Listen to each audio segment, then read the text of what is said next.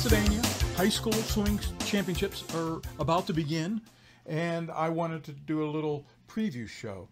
You've got a friend in Pennsylvania, and some of the things and stories that I hope to tell are unofficial. They're my opinions, and I've invited everybody to join me in highlighting their athletes. I don't have a lot of input, but that's okay. I do have some quality materials that I've gleaned from various websites, as well as our WPIAL championships, which were District 7. I was able to broadcast the AA and AAA meet, and it was a fantastic experience. It's on the N National Federation High School Network. You can check it out, NFHS. So if you're a subscriber there, go take a peek. There are some Titans going to be in this meet and I have some stories to tell. One of the things that really puzzles me is that we have AAA for the bigger schools, double A for the smaller schools, and sadly, the two don't meet. We've got in our division the first two swimmers in the small school category in the girls 200 freestyle would have finished first and second had they been in the AAA meet. But they didn't compete that way. It's sort of separated. So one of the things that I think we really should think about in Pennsylvania, as well as other states, I do the same in Ohio, the same in Colorado, would be to have a meet of champions. They use that word or that title in New Jersey where you could take the very best swimmers from the one class against the very best swimmers from the other class. It'd be easier to do it as a mid-season all-star meet, and perhaps we could roll in some NIL opportunities for the kids and the teams so that it, we could have a televised event with um, some all-stars. There had been in the past a post-state championship meet when it was held at Penn State it was a club meet. That's also a possibility, but I'd love it to be a high school meet.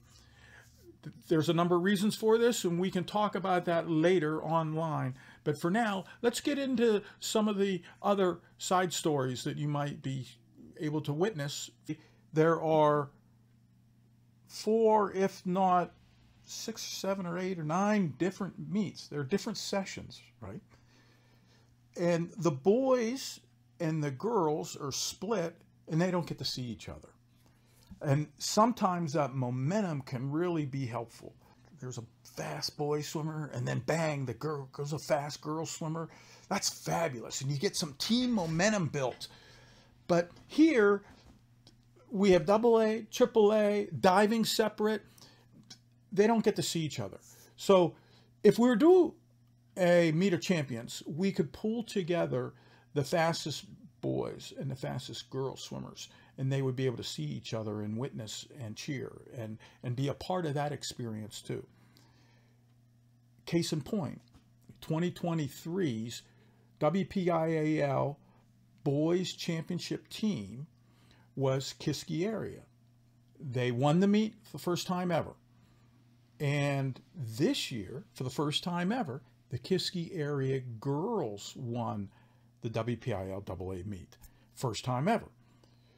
But I think there was some of that rubbing off where the, the girls last year could see and visualize and understand, hey, if they can do it, we can do it too. So there's definitely some program and momentum that builds between the boys and girls. So I would love to see an opportunity where the teams, boys and girls, could see each other swim a little more. Whereas our state championship, and for all good reasons, is very fragmented and very split among different places. Like, hey, you know, the boys and the girls win their WPIAL championships and maybe state championships too, again, but they're isolated and they don't get to really cheer and celebrate and, and be part of that. Whereas if we had then a final meet, they could do it. Now, when you go to the Olympic trials and national championships these days, there's a prelims, then a semifinals, and then a finals. So you have to do your event three times. I don't think that's out of the question for our weekend at the state championships. We could have our state championships the way it is now, prelims and championships, and then you could have that meta meet where you do one more time, boys and girls together, Sunday after the championships or the next day. Okay, so let's talk about some of the meet basics. Individual points go from 20 points for first place down to 16th place, one point. Relay points are double, so that a first place relay gets 40 points. And here's the table down to two points. Now I had to use this and I calculated the meet results based on the seed times, the psych sheet regarding the meet events for swimming. No diving points were in my calculations. So the grand final, and I've used Chat GPT to help calculate these numbers, and boy, it makes some mistakes. Anyways, in the AAA girls meet, we're looking at Fox Chapel with 199 points, Wilson 191, Upper Dublin 184, Hatboro Horsham from District 1 177 points. North Allegheny's coming in at fifth, 175 points, which is 24 points behind Fox Chapel. But when we had the district championships, North Allegheny scored a load of points, more than 25 points. They could easily make this up and jump to the head of the class based on diving points. And this is the first year, thank goodness, that they brought back the 11 dive list for the state championships. Hooray for that. We were able to overcome some weird decisions in the past to shrink it to, to just a six dive competition. So I'm all in favor of that. And thank God for um, excellent leadership among our, our swimming community and diving community to bring back the 11 dive list. So we've got um, North Allegheny. I should probably make this a little bit larger. Here are the top 20 teams.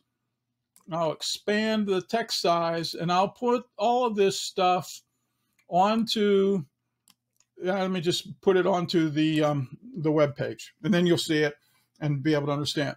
So Fox Chapel scores a lot of points, but so does our North Allegheny and Mount Lebanon, 158, Upper St. Clair, 144. So we got four out of the top 10 teams are from the WPIAL.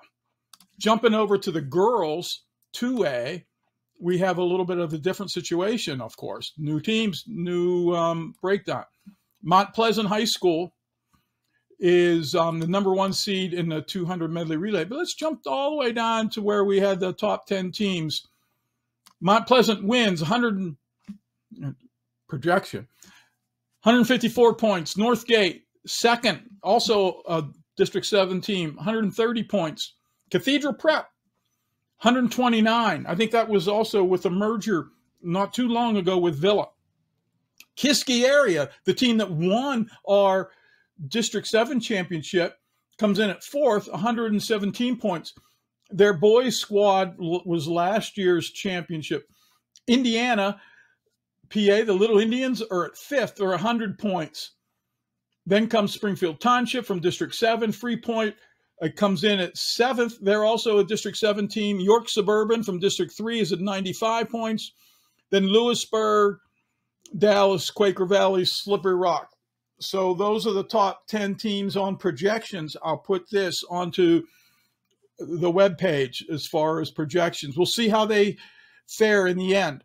But let's go over this event by event, starting with the 200 yard medley relay. The top team seated wise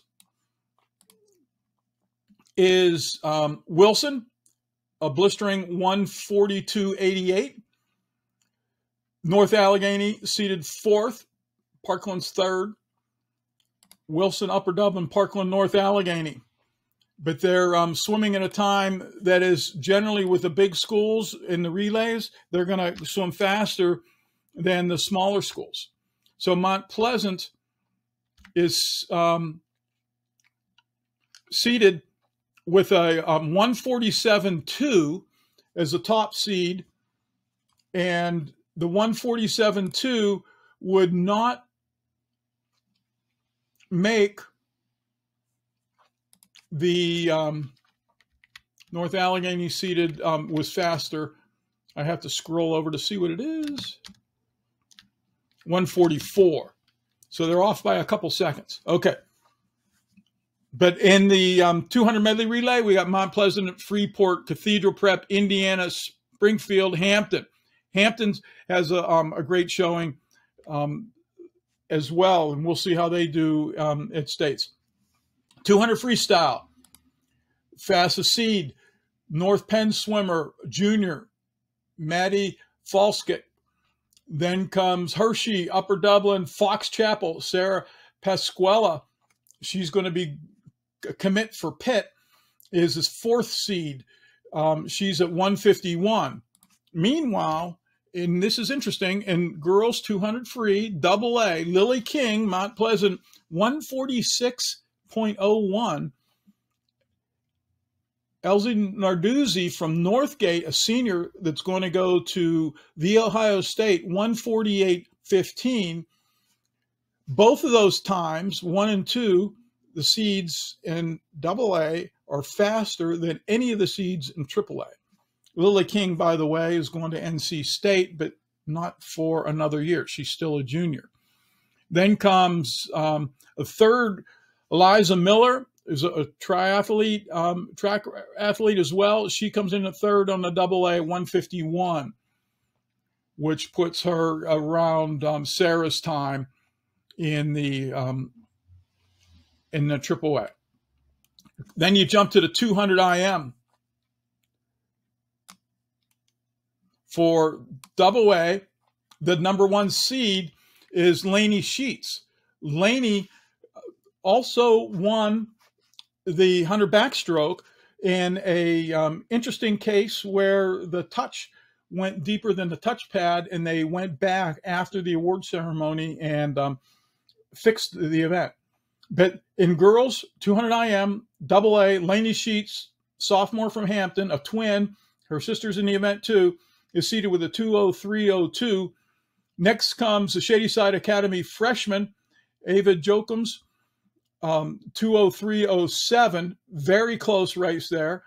Um, then comes Lydia um, Gonzalez from Dallas, a Lewisburg swimmer. The fifth swimmer is a Knox swimmer from District 7, Gianna, and then um, a Cathedral Prep, and then a Freeport swimmer. So there's a number of good representative in the WPIAL and the 200 IM. Meanwhile, on the girls AAA, the um, Hatboro Horsham District 1 swimmer Jaya Annie Jaya is um, now a junior and she's lightning fast. 20206. This whole team is really going to rocket forward. They um, had won some um, events in the past state championships. And then comes uh, Marion Parkland, um, the North Allegheny, Danny Hickson's the fifth seed. So um, Upper St. Clair also has the ninth seed in the 200 IM. Moving ahead to the girls 50 free is um, Sylvia Roy. Mount Lebanon swimmer. She's seated with a 2284, followed by Unionville from District 1, a state college swimmer. Then fourth is another Upper St. Clair District 7 swimmer, Caitlin Connors. She's a senior, 2318. Then it's um, all the way down to the next is a Peters Township. There's some, let's talk about new coaches, um, different coaches. Peters Township the new coach at um, Bethel Park. Um, Mercy jumped the Quaker Valley that had been at um, Oakland Catholic. So Oakland Catholic, Central Catholic has new coaches. And um, There has been a switch over from at Fox Chapel and um, also Franklin Regional. Franklin Regional boys won an event last year. Um, so it's interesting to see some new faces and um, some places that have just switched um, where they're coaching for, um, better for, for a lot of different reasons, I imagine. Okay, so um, 50 free for the girls, double A, looks to be um, Kirsten O'Connor from Mount Pleasant High School, 2261 which is faster than the fastest AAA time. Mount Pleasant, Lily King has the state record on this, but Mount Pleasant's um, her teammate is number one seed. And then comes Thomas Jefferson, second seed. Third seed, Quaker Valley. Fourth seed is from Springfield Township, that's um, District 7. York Suburban. Then a, a Woodland Hill Swimmers coming in here at the sixth seed, a ninth grader. And um, so once again, the fastest individual girl swimmer in the meet, seed time projected is a double A swimmer. We're skipping diving. Sorry about that. Just can't project that. Um, we're going on to the 100 butterfly. Fastest seed Hatboro, Horsham swimmer, Annie Jaw, 5383 for the big schools. Then comes um, third place, Natalie Sens from North Allegheny, a senior. Meanwhile, over at double A, Leah Shackley is going to be something to watch. I wish uh, her the best she's seated with a 51.16, more than two seconds faster than the big schools. Bedford swimmer, phenomenal superstar. Kara Schackengrost from Freeport is a second seed, District 7. Katie Djokovic, another WPIAL swimmer from South Park. She's a senior. She's going to go to University of Cincinnati is um, the third seed. And um, we also have in the sixth seed an Indiana swimmer. There's a seventh seed Gateway swimmer. Gateway had um, an opportunity to win the 200 freestyle, and they did in pre at um, but the, got disqualified. It was uh, um, one of the heartbreakers of the um, the WPIAL championships for me watching them, but they came back and they were able to finish fourth in the 400 free relay, um, which was um, fantastic for them. So let's see where Gateway is in the 400 free relay. They're seated 16th. So they're on the bubble. Um, no, yeah, that's relay points. Sorry. I had that wrong. 400 freestyle relay gateway is seventh in the seed times for make they make a big final. That would be um, phenomenal for the 400 free relay. Okay, moving on. Girls 100 freestyle. Big schools. Number one seeds from State College, Molly Workman time 50.16. Right behind there is Upper St. Clair, second seed, Caitlin Connors, senior Upper St. Clair, 50.30. And then comes a Unionville, Sarah Parker from Hatboro, 50.9. So there are four young ladies in double triple A that are 50 point. Meanwhile, in the double A, in the girls 100 freestyle. Our number one seed is Lily King. She's doing the 100 and 200. She's seated with a 48.21. Elsie Nardozzi from Northgate, senior, 49.98. So we have two swimmers under 50 that are would be one and two uh, even in the big schools. And then comes Katie Djokovic from South Park, 51 36. The four seed, another WPIAL swimmer, Cody from TJ. So the top four swimmers in double A girls 100 free are all from District 7. Next event, the 500 freestyle. Let's look at the big schools. Nora, number one seed. Nora Webster from Wishoshocton, 451.62. Second North Penn swimmer, 452. Then it jumps to 457 for the third seed. Then comes Claire Baku from North Allegheny, 457. That was fourth seed. Meanwhile, in the 500 free, Lewisburg, 455. Kimberly Shannon, local swimmer, I imagine. She's um, a senior. Then comes Shadyside Academy freshman, Ava Jokums. She's a ninth grader, of course, 456.04. That would put her in the third seed in the um, AAA, but she's our second seed. Then comes Eliza Miller, Kiski area, 50047. Maybe she breaks the five minute mark. And she's um, the second seed. So um, the WPIAL's not quite as powerful in the 500 free, with neither the double A or triple A being a WPIAL swimmer as far as the number one seed, but um, still well represented. Moving on, the 200 free relay. Cathedral Prep comes in with a small school as the one seed. They're at 138.05. Meanwhile, Hatboro, Horshams, number one seed, 134. Then comes um, North Allegheny, Fox Chapel, Upper St. Clair, all running out. Okay, here's one something I want to point out. Um, Taylor Allderdice, District 8, 200 yard free relay, 156.15. Ugh. That's um,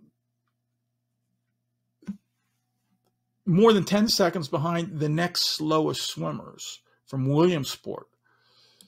And then above that, you know, is McDonald, you know, so, you know, at 35th place is a 142. So, you know, I hate to see that, but it's the fact of the matter is um, the way they qualify and have arranged this Pittsburgh stuff. So, um, 400 free relay, North Allegheny second, Fox Chapel third, Upper St. Clair fourth, but they got some screaming fast times ahead of them from the Hatboro team. Whereas um, in the girls 200 free relay, uh, Lily King doesn't swim this event. She does the medley and the 400 free relay. So that drops Mount Pleasant down to a sixth seed, but it's Cathedral Prep, then Northgate, Springfield. Now, Cathedral Prep's 138.0, Northgate 139.6, Springfield 139.7. So that'll be a tight one in the beginning um, of the second, at the end of the first day. So um, Kiski area is, plugging away in there in fifth, right by Mount Pleasant, which is sixth. Moving on to the girls 100 backstroke, Leah Shackley, number one seed, of course, in the small schools, super time at 50.43. And then there's five second gap in Delaney Sheets, who did a 55.3 with that modified time, and Kirsten O'Connor, Mount Pleasant, 55.37 for third. And then comes the Cathedral Prep. Meanwhile, Sylvia Roy, Mount Lebanon Star, 54.10 is the first seed, still not as fast as Leah, of course, on the um, double A. Then comes an East Stroudsburg, 54 5, Lower Merion 54 6. So, um, be fantastic to watch Miss Leah Shackley burn from Bedford on her backstroke events. Coming up on the girls 100 breaststroke, we have, um, meanwhile, let's go one more time. Backstroke for her Allderdice 107. Next fastest, she's 38 seed. Next fastest was um, somebody from District 12 with a 101. So that's 107 is a um, not in the ballpark here. Girls 100 breaststroke. Natalie Sens, North Allegheny 102.5. Upper Dublin has a 102.8. 103, 103, 103, 103. There's a lot of 103s taking it down to 10 to position seven.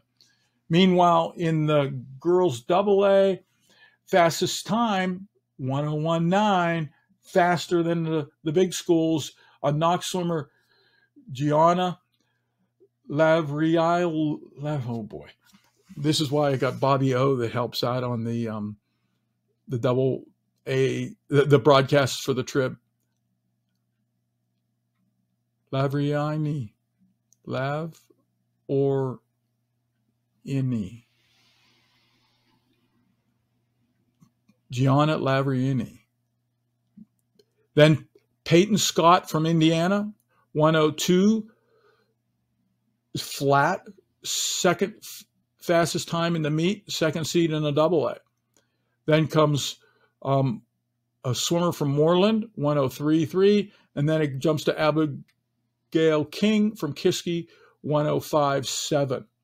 So Abigail King from Kiski area is the fourth seed, but she's in with a 105. Now that would put her back in the 13th or 14th spot in the AAA. But as far as the elite swimmers go, the fastest are showing up again in the double A meet. Now let's go down to the girls 400 free relay. Number one seed, Hatboro Horsham. Number two, Upper Dublin. Third is Fox Chapel. Fourth is North Allegheny. Meanwhile, Kiski area is the number one seed going into the 400 free relay. Their time was 335.29. And um, our dub our relays for Hatboro is 124.5. 128 was second Upper Dublin. You know, Fox Chapel was 129. So the relay power, North Allegheny's relays 330.7 is um, much more prevalent in the big schools. So they'll be um, lighting it up. And I think um, it's going to be a, an interesting go, even for Kiski. 335. Northgate was 336. Dallas 337. Mount Pleasant is seated here at fifth, and they'll have Lily King maybe as an anchor. Maybe she'll lead off, but that'll be something to watch on the 400 free relay. See if Kiski area can repeat. So quickly again, rundown on the schools, on the total points. I had um,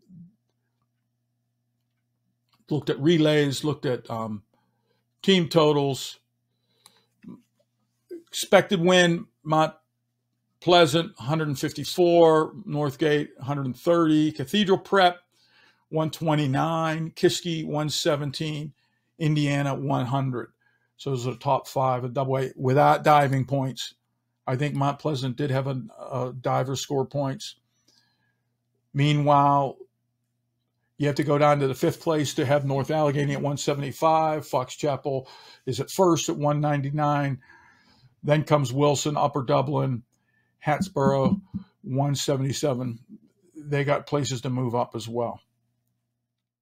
Another thing I want to advocate, and while I have your attention, is the idea of a third classification. We have 3A, 2A. That's great. Let's not mess it up. Now, there are some teams that need to bounce from one side to the other. Like a Kiski area team I mentioned, I think they're probably going up to the, the bigger schools. I know Woodland Hills is going to be a big school again for the next two year cycle. So some teams are sort of borderline or they straddle. Sometimes they're small schools, sometimes they're big schools. And that's a little bit fussy. You have to redo the sections and such. But anyways, how about a third class? But I don't want it to be the tiniest schools in class single A we should have a third class that is based more upon the support and the ability to field a competitive team. And there are plenty of schools, like for instance, in our WPIAL, 142 schools. Only 70 of them have field varsity swim teams. What about providing a swim experience for those other 70 schools that don't have swimming? Now, a few of them can have a star or a fast club swimmer, and they get to drop into the um, the meets, and that's all well and good. But I think we could build a better third class that had nothing to do with the size of your enrollment, but had more to do with your ability to have a quality or varsity swim team that's worthy of it. Case in point, let's talk about Pittsburgh, where my city is. Perry High School, is a big school, or Brashear High School does have a team. Perry does not. Well, I don't think those schools should be swimming against Bethel Park or Upper St. Clair or Mount Lebanon or North Hills. Our WPIAL story is an interesting one, and I want to share, and I'll talk more about that at the very end uh, especially with Allderdice. But we should be able to have a swimming experience at Westinghouse, at UPrep, at Perry, and at other schools that have I don't want to say weak, I want to say fledgling or but frail or more frail swimming opportunities. So uh, that's one of my wishes and one of my desires is to create an extra class of swimming in Pennsylvania so that we can do lifeguard training, we can play water polo, we can build swim instruction, especially among those programs that don't generally have strong swimming support. And it would help make a better 3A and 2A experience for those teams that are solid and it would make for a better experience for hundreds, if not thousands of other kids that should really be able to go to their pools or go to a, a neighboring district pools and be able to swim and have a swim experience. But to make that happen, we're going to have to bend some rules and be creative. And I think I've got just some of those solutions to pitch to you later under the umbrella of what I call an I League. Okay, but let's get on to the meat. In Pittsburgh, the team, big school, AAA school, Allderdice Dragons, are entered into the state championships, and they find their way to the state championships by winning their district, which is District 8, at a meet that held on a Tuesday and Wednesday at 10:30 in the morning, and there were um, four teams: uh, Allderdice, Pittsburgh Obama, Carrick, and Brashear If you won your event, you got an automatic ticket to the state championships.